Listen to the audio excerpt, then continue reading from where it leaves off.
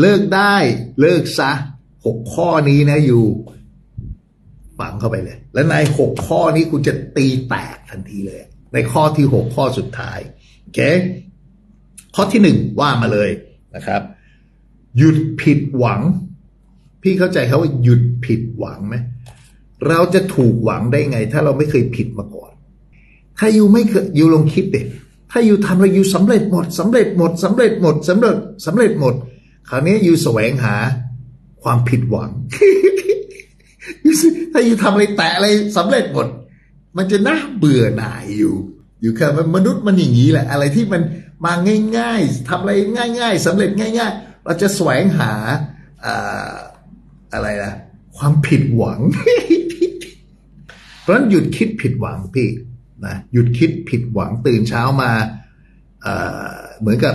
เซ็งลีฮอเซ็งลีฮอเหมือนกับจับของแล้วเซ็งลีฮอเซ็งลีฮอเซ็งลีฮอตื่นเช้ามาแบงค์พันแล้วก็เซ็งลีฮอเซ็งลีฮอเซ็งลีฮอกับตัวเราเองสิ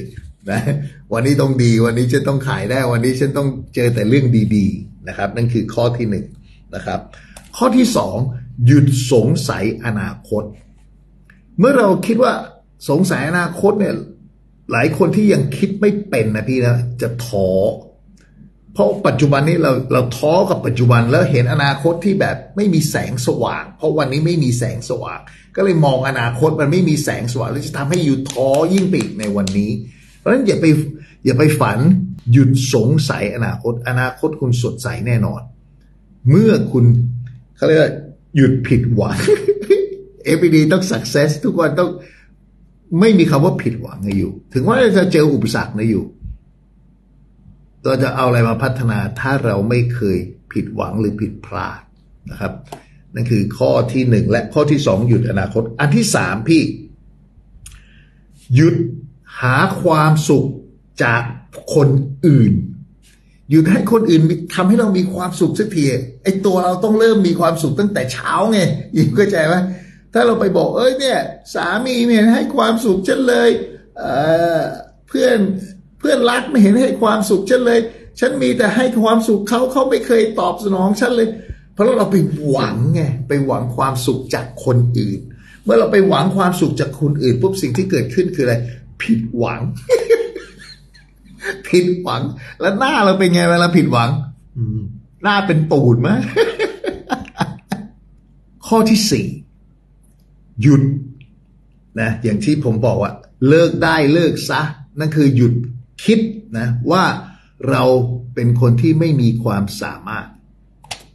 ทุกคนทุกคน เชื่อผมเถอะ everybody มีความสามารถ ข้อที่ห้า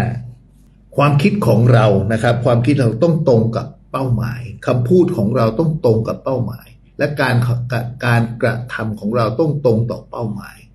เพราะฉะนั้นเป้าหมายมันคือเป้าหมายเนี่ยเพราะ การที่เรามีความคิดที่ตรงต่อเป้าหมาย ความคิดคำพูด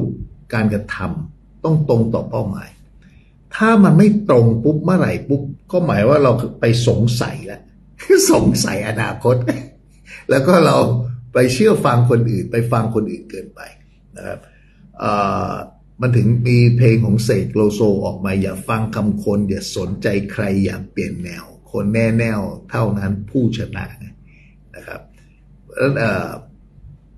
มันเป็นอย่างนี้จริง ๆ ของคนสำเร็จเขาเขาเขาแน่วแน่นะครับ แล้วเขาเขาก็คิดโฟกัสแต่เรื่องของเป้าหมายเขาเขาก็จะพูดแต่เรื่องต่อเป้าหมายเขาฉันคิดอะไรบ้างตรงต่อเป้าหมายชีวิตฉันไหมอืม ถ้าคุณทำตรงนี้ได้เนี่ย คุณจะสำเร็จเร็วก็ เป็นหัวข้อเรื่องของเลิกได้เลิกซะที่คิดอะไรที่ไม่เกิดประโยชน์ต่อชีวิตนะครับ สุดท้ายก็ให้เข้าใจว่าคนรวยเขาไม่ได้เขาไม่ได้มีจิตกังวล ไม่ว่าจะเรื่องเงินเรื่องสุขภาพ ผมก็ไม่ได้กังวลเรื่องสุขภาพเพราะผมดูแลอยู่เรื่องเงินเรื่องทองอะถ้าเรามีความสุขเนี่ย เราไม่กังวลอะไรถูกปะแล้วมันนี่มันจะเข้ามาหาเราง่าย คนดีๆ ก็จะเข้าหามาเราง่าย ๆ ความสำเร็จมันก็จะวิ่งมาหาเราอยู่เสมอ กังวลแล้วมันเงินมันมาไหมรายได้มาไหมนะ